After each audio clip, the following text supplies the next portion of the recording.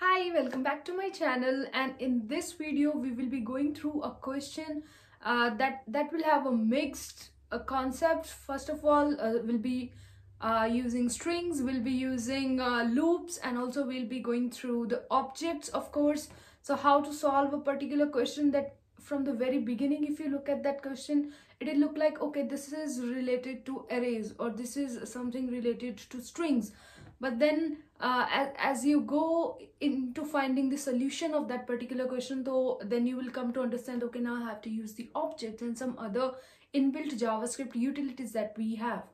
So i always say that you should know the very basic utilities that we have in javascript so that if you have to use them on the go in your any interview then you should uh, be able to remind it ki, okay i already have this sort of thing and i can use it to solve this particular problem right here Okay, so without any further ado, let's go, go to our code runner and check how this works and how, how we be able to find the solution of this problem.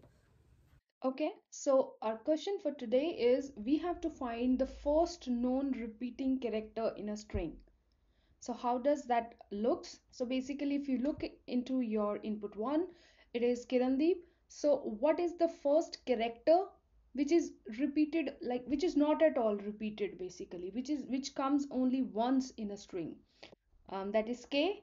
Uh, i is also uh, coming only one time but if you look into it then the k is the first one which is the first non repeating.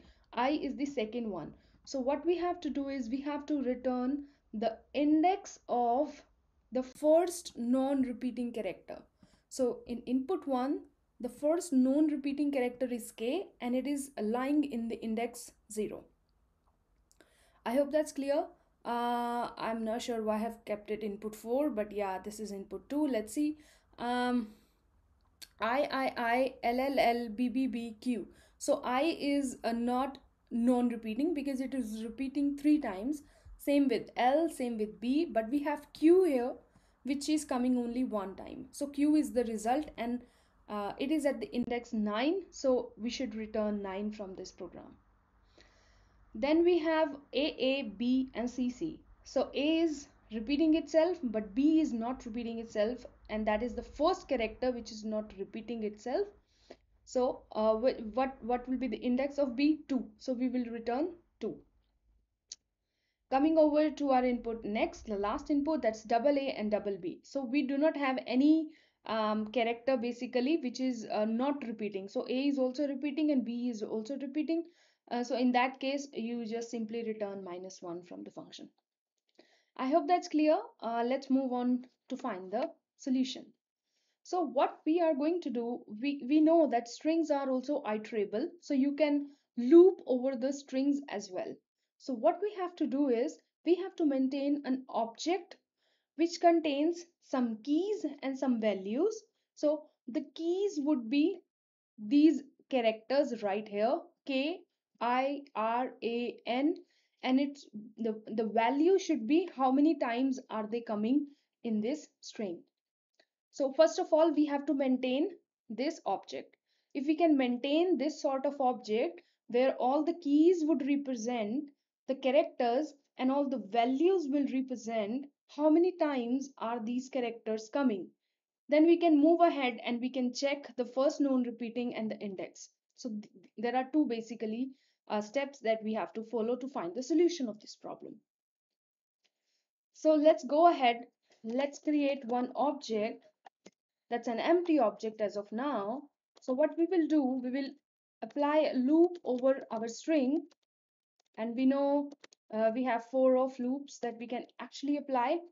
Over over the strings over the arrays we can also apply the typical for loop but yeah this is more cleaner way to do the same thing.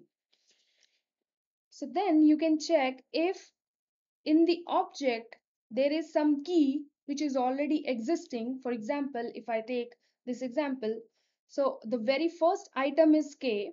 So you will check if there is already a key with the name k if there is already some key then just increment its value like let's say k is already there so its value would be 1 otherwise you just have to increment it value like else obj dot item equals 1.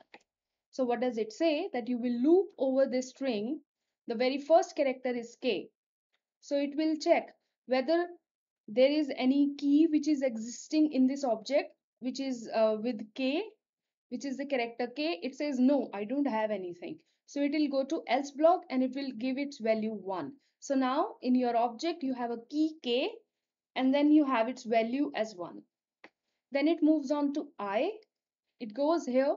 It says do you have any object in uh, uh, like do you have any key in this object uh, which is named as i and it says no i don't have. So it goes to else and it will also keep its value 1 so now you have k colon value 1 i 1 same with r same with a same with n same with d same with e but then you will also get e again.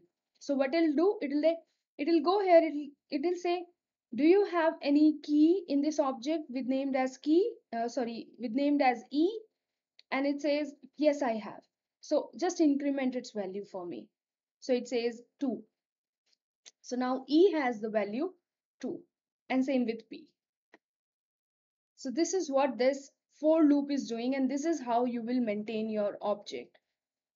If i check what do we have in our object you'll get k1 i1 r1 a1 n1 d1 e2 and p also. 1 so now we have maintained this object with us. Now what we have to do? We just have to find the first character whose value is 1 so how do we loop over the uh, objects? We use for in loop. So we will use our for in loop. And we will check if whatever the value for that particular key is and if that value is 1 then you have to return that item so if i check i get this one um, that's k. But the caveat is that we don't have to return the character but what index is it at? So you can simply use um, string dot index of method. So index of your item and then you can check it's zero. So we have this this was the question for string but you iterated over the string. You used for ofs you used for ins you used how to use the object properly how to use some inbuilt utilities like index of. So this is a combination of various things that are oftenly used in javascript and that is the reason this question is very very uh, oftenly asked in interviews. I hope that's clear. Uh, if there is any uh, doubt if you have regarding this question that's not clear please leave a comment below and we can discuss it over there. And also if you want me uh, to discuss your doubts you can also connect with me on my linkedin. I'll leave a link below in the description box. Now let's go over to the other inputs. That's our input 2 input 2 is double a b double c and your result should be 2 and correctly we have a2 we have b1 we have c2 and we will return b which is having a value of 1 and then let's go over to check input 3 for input 3 okay because we forgot to return minus 1 if there is no item like its value is 1 then finally you should return minus 1 from here and hence you get this and finally, if we check for our input 4, that's 9 and exactly what we predicted. For Q, the, uh, the character which is unique, uh, which is existing only one time is Q and its index is 9. So I hope this question is clear. Be prepared for this question. This question is very, very, uh, very much asked in interviews. Maybe they will tilt it like somehow, probably they will ask you first known character, a first non repeating character or sometimes they will ask you last non repeating character or they will ask you to return all the non repeating characters so if you want to practice these sort of questions i have given you i have already given you like three examples to find the first we have discussed here to find the last non repeating character um, to to find the all non repeating characters or to find a particular string which has like aa so uh, return me the index which has continuous AA in it. So those sort of questions are also solved using this concept and this pattern. This pattern is very, very uh, useful and you should be very comfortable working with this pattern like where you have a string or you have an array given and you are converting it to object to find some specific uh, things in your uh, given program.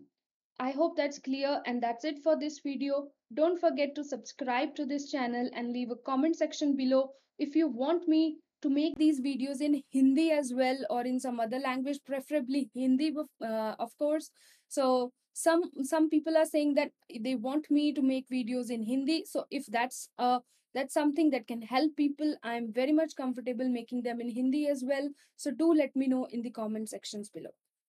Thank you so much for watching and i'll see you soon in the next one